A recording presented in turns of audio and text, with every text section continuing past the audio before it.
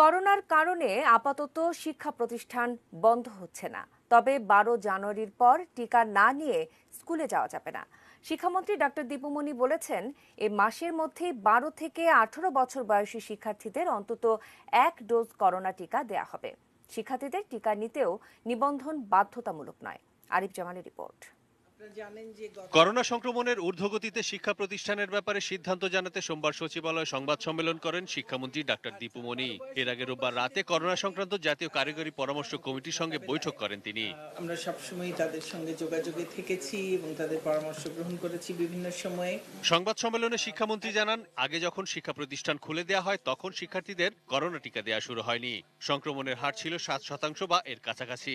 সে সময়ের চেয়ে এখন পরিস্থিতি ভালো আর তাই সার্বিক বিবেচনায় এখনকার মতো সীমিত পরিসরে শিক্ষা প্রতিষ্ঠান চলবে। তবে শারীরিক ঝুঁকি আছে এমন শিক্ষার্থীদের সরাসরি ক্লাস না করার পরামর্শ তার। আমরা যেটি সিদ্ধান্ত নিয়েছি যে এখন শিক্ষা প্রতিষ্ঠান বন্ধ আমরা করব না। আমরা যেটি করব, টিকাদান কর্মসূচিটিকে জোরদার করব। আমাদের স্বাস্থ্যবিধি মানার এই পুরো যে কার্যক্রমটি, সেটিকে আরও জোরদার করব, মনিটরিং আরও জোরদার করব। যদি আমাদের কাছে মনে হয় যে কোনো সময় বন্ধ করে দেওয়া দরকার বন্ধ করে দেব। কিন্তু আমরা আশা করছি যে এই পুরো টিকাদান কর্মসূচিটি ব্যাপক হারে ঘটলে তারপরে হয়তো সেই প্রয়োজনটা হবে না। শিক্ষামন্ত্রী জানান বারো থেকে আঠারো বছর বয়সী এক কোটি ষোলো লাখ শিক্ষার্থীর মধ্যে টিকা পেয়েছে আটচল্লিশ লাখের কিছু বেশি। এর মধ্যে প্রথম ডোজ পেয়েছে চুয়াল্লিশ লাখ। পঁচাত্তর লাখের বেশি শিক্ষার্থী এখনও টিকা পায়নি। আমরা এই একত্রিশে জানুয়ারির মধ্যে আমাদের যে পঁচাত্তর লক্ষ চুয়ান্ন হাজার ছশো জন একটা ডোজও পায়নি। তাদের অন্তত পক্ষে প্রথম ডোজ আমরা সম্পন্ন করতে পারব ইনশাল্লাহ এটি আমাদের পরিকল্পনা।